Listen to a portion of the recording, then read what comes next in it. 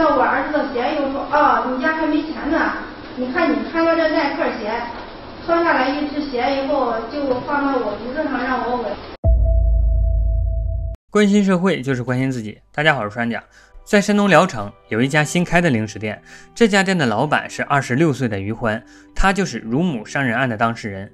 今年是于欢出狱的第二年，他刚刚跟未婚妻订了婚，也注册了短视频平台账号，偶尔呢会分享一些自己的日常生活，逐渐回到正轨。在六年前，南方周末的一篇文章叫《赐死乳母者》，引爆舆论。原文中提到。多名讨债者当着于欢的面，用极端方式侮辱他的母亲苏银霞。于欢愤而拿起水果刀，致一死三伤。关于案件的细节和判罚，在二零一七年引起了极大的关注和争议，点击和转发超过八亿。现如今，案件早已尘埃落定，很多细节也通过官方的报道浮出水面。今天就来全面回顾一下乳母伤人案，包括案发当天到底发生了什么，一审的无期和二审的改判，以及曾是受害者的苏延霞为什么后来全家都进了监狱。如果喜欢这期视频，希望看完之后点个赞，也欢迎新来的朋友关注我。下面咱们直接开始。在二零一二至二零一五年间，国内的钢价暴跌，很多钢厂连续亏损。苏云霞有一家专门做汽车刹车片的企业，叫元大工贸，也出现了资金流转的问题。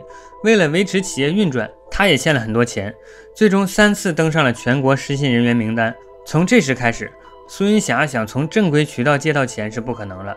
借钱，我是资金也周转也没有资金，周转不开了。家里边就生产没干活，没办法借的钱。于是他想到了一个人，叫吴学占。这个吴学占并不是个省油的灯。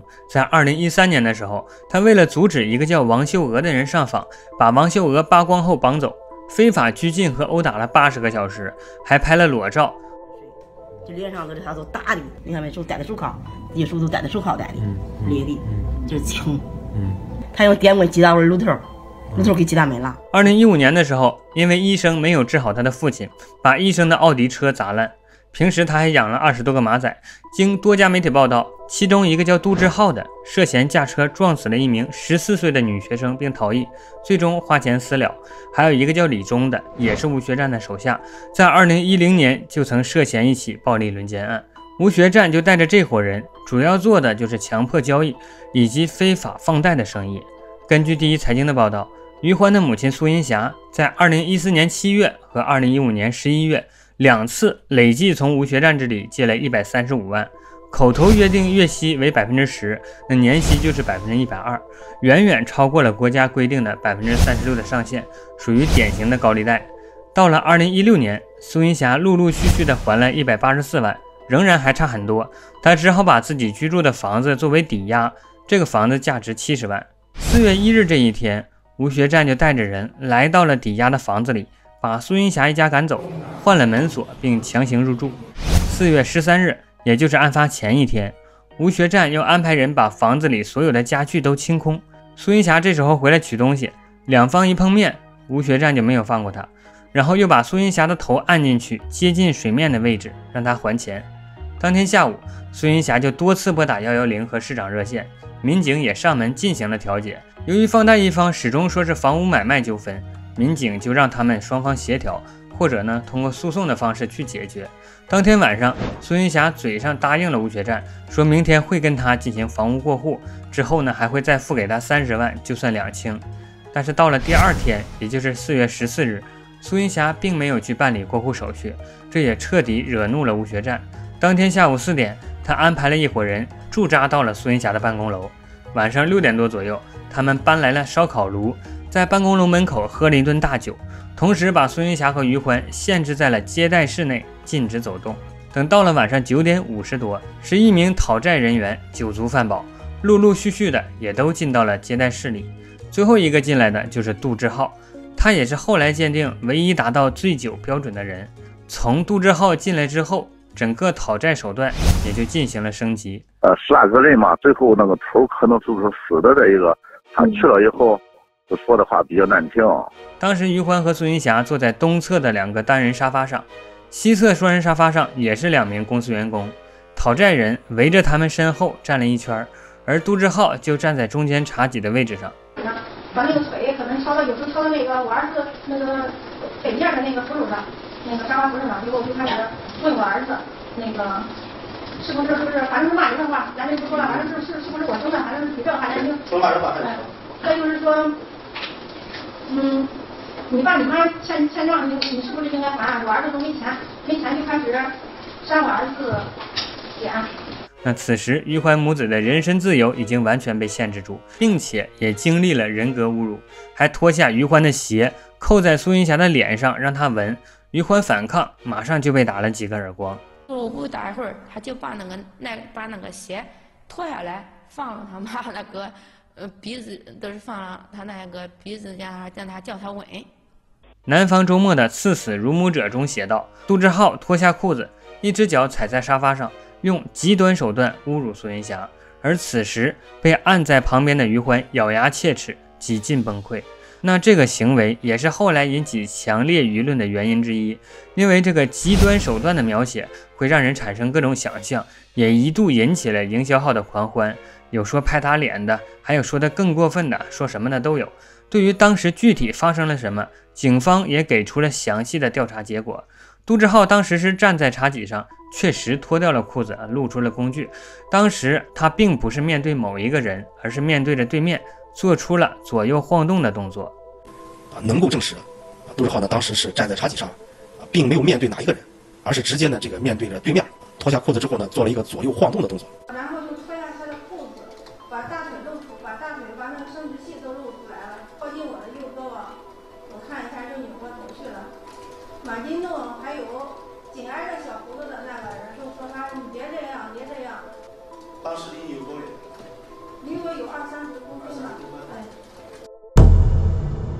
于欢的姑姑就在旁边的办公室，通过透明的玻璃，她感觉情况不对，就再一次进行了报警。十分钟后，警车就来了。这次一共来了三位警察，一个是拥有正式编制的女民警，另外两个是男辅警。三名警察进到房间之后，马上就问是谁报的警。讨债方气势上并没有弱，反而更狂，当着警察的面大喊：“谁报的警？出来！”又是大假吗？又是大假。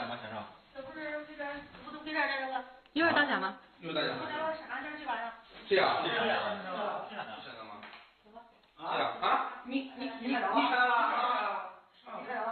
没有没有。是不是？你家不是没有意思？你有护照吗？有护照吗？我有护照来。你有护照来。谁看到了？谁看到了？这是他们交警。交警。方在进行了初步的劝阻之后。情况并没有好转，现场反而越来越乱。女民警就带着其中一名男辅警回到警车里，商量是否需要打电话请求支援，同时留下了一名男辅警进行劝阻。但是苏云霞和于欢看到警察要离开，并不清楚原因，以为警察是放弃自己要走了，于是二人跟在他们身后，拼了命的想一起逃出去。但是讨债方堵住门口，根本不给任何机会。警察的暂时离开，让讨债方的气焰更加嚣张，同时于欢的愤怒和绝望也几乎到达顶点。紧接着，接待室就发生了骚动，于欢被讨债者逼到办公桌旁，他大概记得办公桌报纸下面有一把水果刀，于是他顺势将刀拿了起来，并大喊道：“别过来，都别过来，过来囊死你！”杜志浩往前凑过去，于欢拿着刀就朝他的正面捅了一刀。附近的郭彦刚见状想躲，于欢向前又刺出一刀，导致郭彦刚后背中刀，很快就流血了。当两名民警回到现场时，讨债方的杜志浩、严建军、程学鹤、郭彦刚四个人都已经被于欢捅伤。七八个人围着我，在我身上呢，我觉得都是打我的。不，你觉得都是打你的，是身体的感觉还是身上的感觉？身体上也有。身体感觉。当时我的眼根本就不够看了，我看不过来。殴打和捅刺之间没有停顿。基本上没有吧。我拿刀之后，我就对他们说：“我说你们别过来。”然后就杜志浩说：“他说你小子弄死我，我弄死你。”第一个应该是杜志浩吧？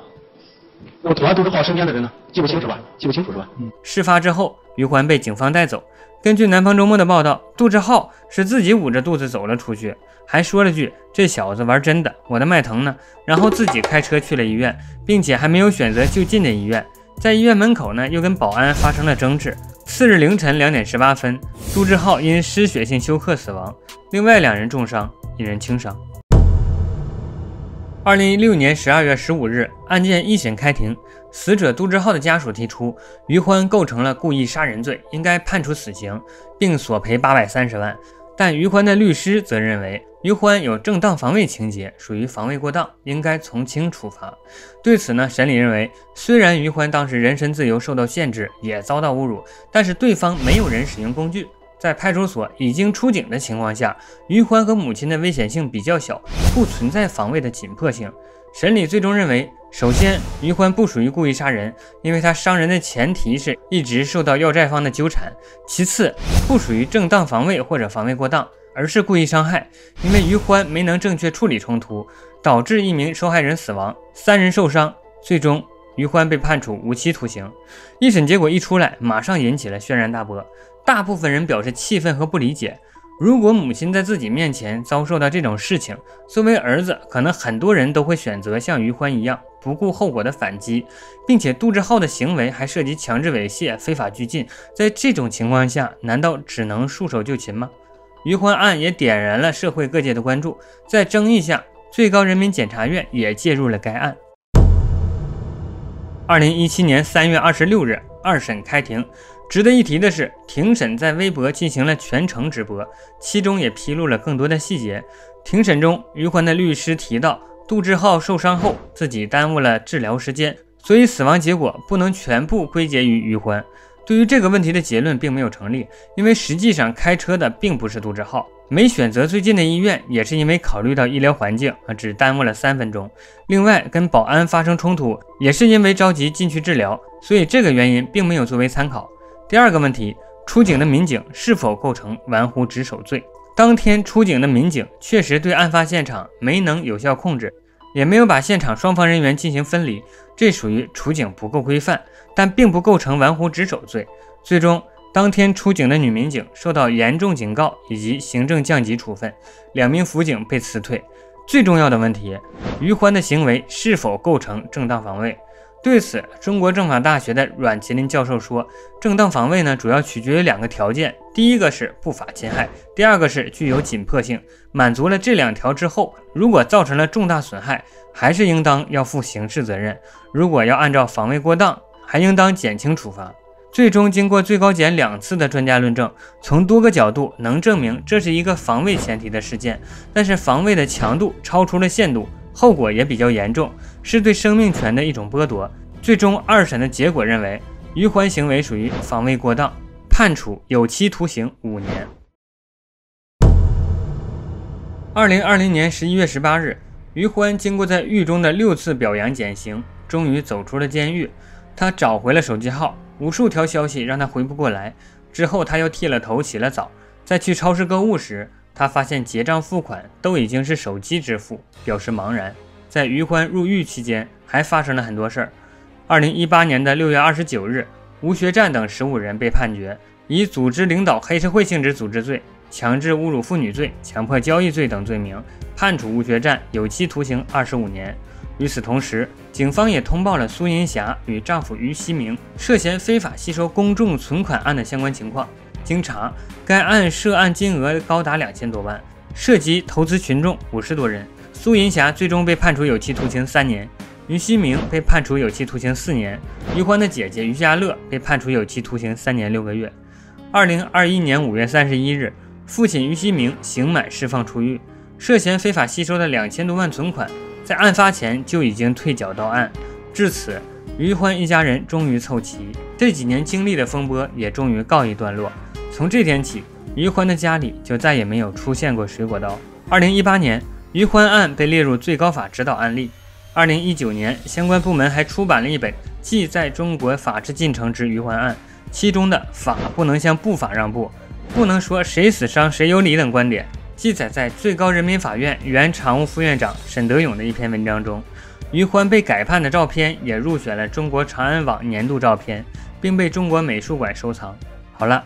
于欢案的全部内容就是这些了。最后跟新来的朋友介绍一下自己，川甲主要是讲一些奇闻和案件。喜欢这类内容的朋友，记得关注我、订阅我。老朋友帮忙点点赞，是我更新的动力。今天就到这儿，关心社会就是关心自己。我是川甲，我们下期见。